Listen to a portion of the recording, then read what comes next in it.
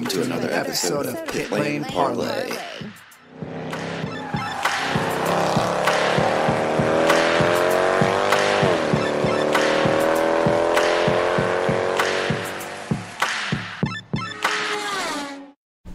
in the second to last episode of the Pit Lane Parley experience with Harding's Time Steinbrenner Racing, joined by driver of the number 88 car, Colton Herta. Colton, first, thanks for joining me this morning.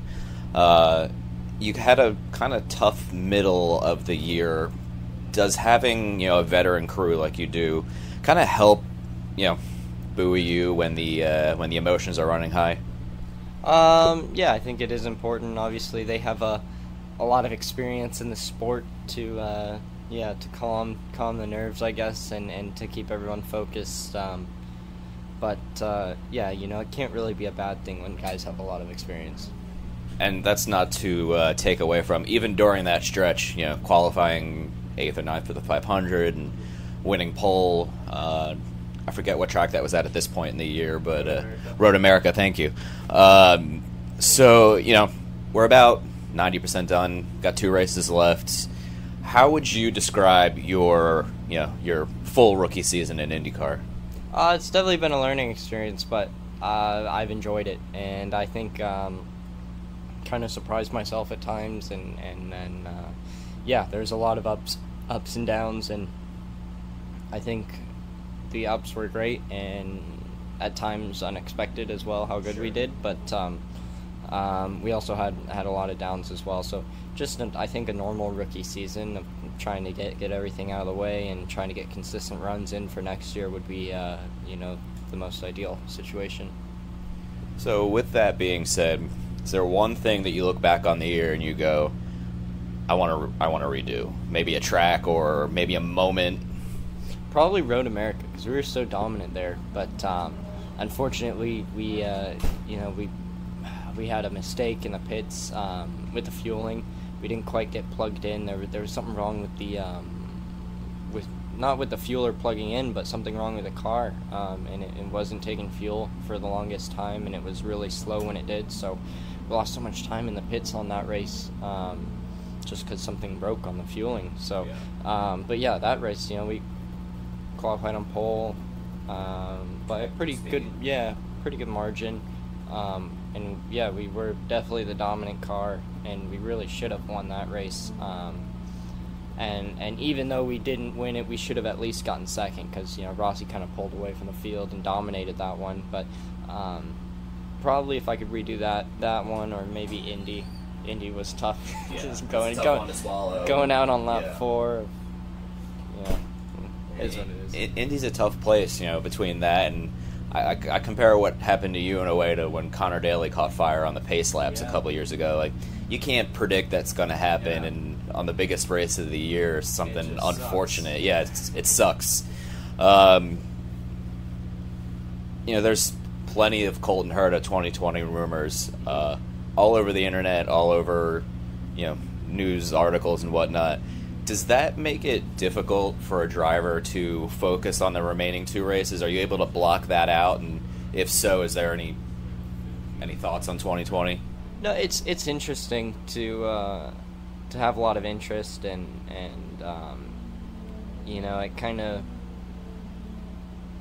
tells you that you're doing the right thing and, and obviously if, if you're wanted by a lot of teams it's it's really cool. It's a good feeling. But um, you know in the same sense you can't let that get to your head.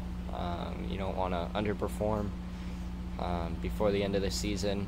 Uh, as far as 2020 goes um, you know I think I'm pretty close on on on deals but um, still you know not taking it away from the, the Harding Steinbrenner crew. You know, still fully focused for these last two events, and wherever I end up, um, you know, it, I've said it in multiple interviews. Wherever I end up, it has to make more sense than where I'm at now. It has to be more competitive, um, or else why would you do it? So, um, just taking that into consider- consideration, obviously, it's a it's a big decision. You don't usually get it in a lot of sports where you make your decision on where you play or where you go. a good spot you to be know? in. Yeah, exactly. You know, a lot of these, you know, baseball and hockey and all this, you're getting traded, and it's not most of the time it's not your choice. So um, it's a little unique that, that, that in racing it, it's 100% your choice.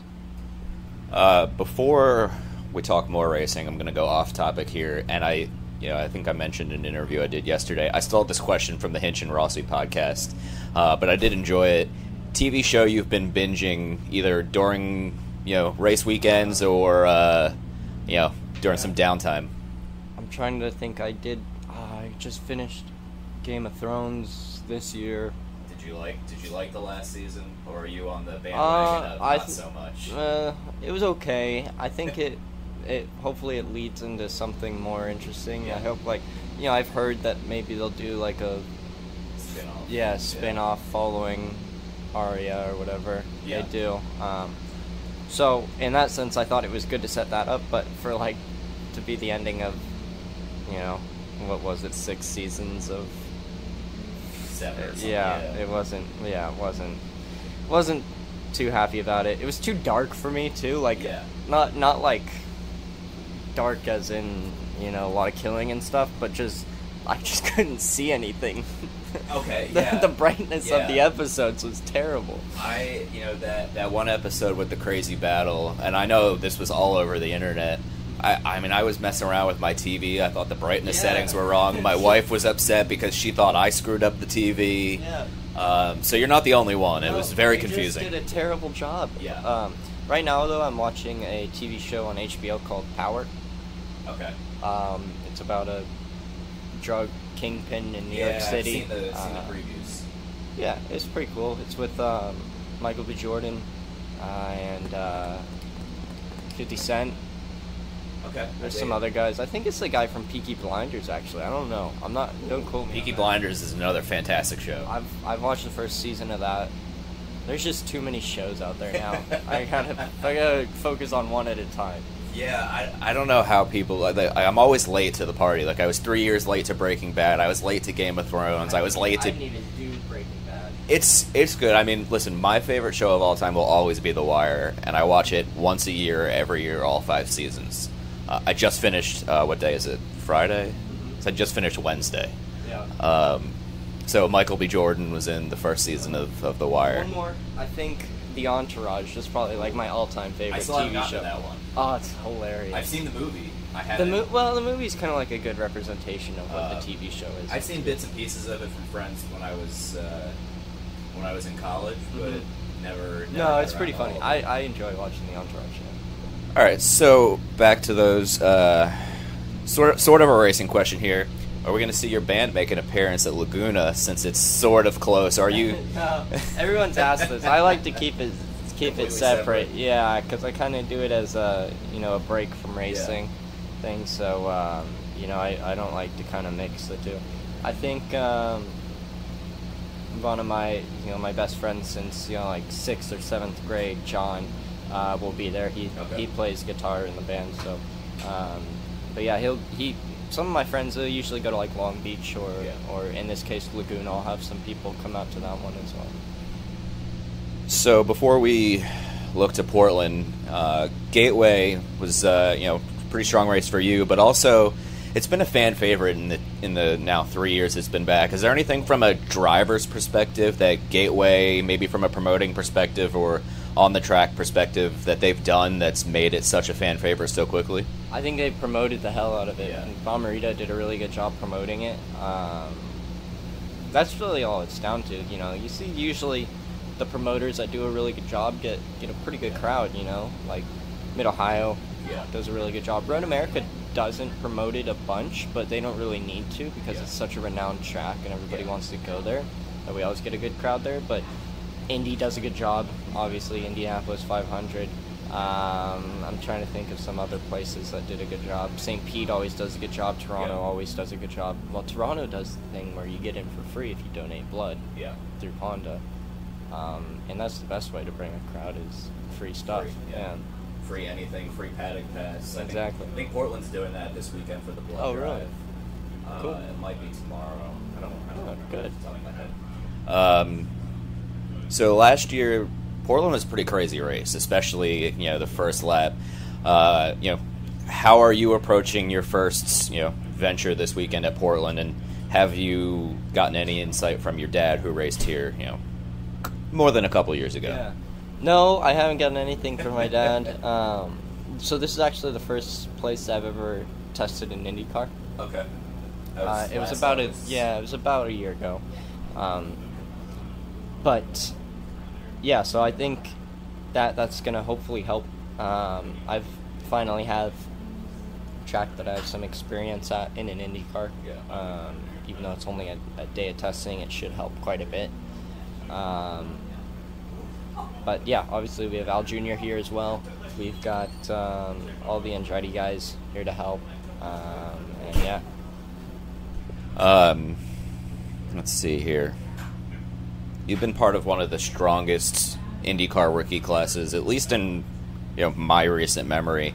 You know, what does that mean to you as you know being part of such a strong rookie class? No, it's, it means a lot. Obviously, um, you know, I think Ericsson's not going to be here this weekend, so Yeah. that's probably going to drop him out of the contention of rookie of the year. But um, you know, him and him and Felix have been really tough to beat. Um, obviously, Santino's been really quick on the ovals as well. So there's been a lot of guys that, that have a lot of really good background um, and and you know already rich racing history. You know they're rookies, but they've done so much.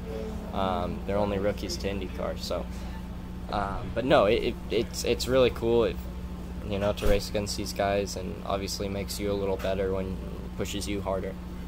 So you're only now I'm, I'm doing the math in my head here, forty something points back in the rookie of the year standings. With double points on the line, the last race in Laguna, you're still going to be racing hard for rookie of the year potential.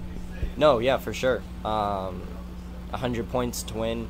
Yeah. So um, it that'll that'll make the gap. I think the gap. I'm not sure exactly what the gap is to P two in points. Like, f if you finish first to second in points. It's like 15 or I thought it was like 35 Yeah. for the next, but I. Oh, don't- for the double points. Yeah, yeah, it's, around gonna be yeah.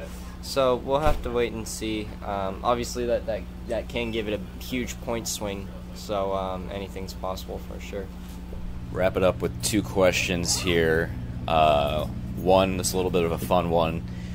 Every IndyCar legend has a crazy nickname, whether it be Super Tex or you know some of the funnier ones out there like Danger Mouse. Uh, if you're going to give yourself a nickname after your rookie year, what are we going with? Um, so this is a nickname I was actually given Okay. in uh, when I was racing in Europe. It was Hooligan Herta, and I quite like that. All right, we'll stick with it. I like it.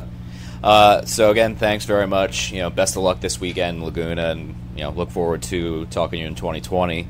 Uh, if you are going to give a speech to the next class of IndyCar rookies, whoever you know, Oliver, whoever it is, what are what are some of the advice that you would give the the incoming rookies? Um, you know, I think stay focused. It's they are very long races. Um, you know, I think that's kind of what I forgot. It's not a sprint race uh, at the beginning of the year, and, and you know you don't realize it until you you actually you know you're worn out in St. Pete and it's lap 45 out of 110 and then you're like holy crap these are really long Yeah. races and I still got like two or three more pit stops to go um, so you know if you give up a few places on the start it really doesn't matter at all because you're gonna have so many opportunities to, to make it back and biggest thing is just keeping a clean nose and um, rookie of the year is usually the guy that finishes the most race and races and is you know the most consistent and you know you're gonna have weekends where you're just not gonna be there. Everyone's everyone's had those you know Rossi had it at Indy GP Yeah. uh, Dixon had it. Um, where did he have he he also wasn't no he was good at Indy GP Gateway, gateway yeah, yeah. Te- even Texas, up until the race, he wasn't super impressive.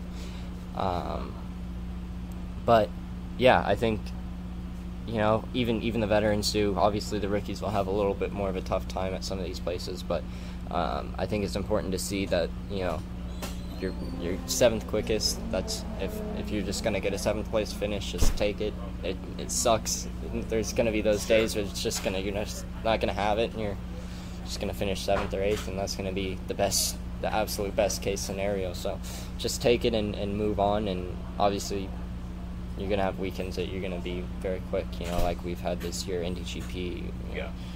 Road America, COTA. COTA. Yeah, there's been a lot of places. So, um, yeah, it's it's obviously a lot more fun than doing Indy Lights from from my standpoint. A lot more races and um, obviously a lot more buzz about the series. So, uh, yeah, Well, thank you very much, and best of luck this weekend. thank you.